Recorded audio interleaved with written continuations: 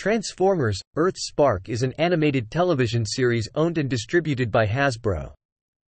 It was first announced by Hasbro's Entertainment One division in February 2021. The series was originally set to premiere on Nickelodeon, which would have marked the first Transformers series to debut on the channel. However, it was later announced that the series would instead debut on both the Paramount Plus streaming service and Nickelodeon on November 11, 2022. The cartoon is executive produced by Ant Ward, Nicole Dubuc and Dale Malinowski. Malinowski is also a developer of the show.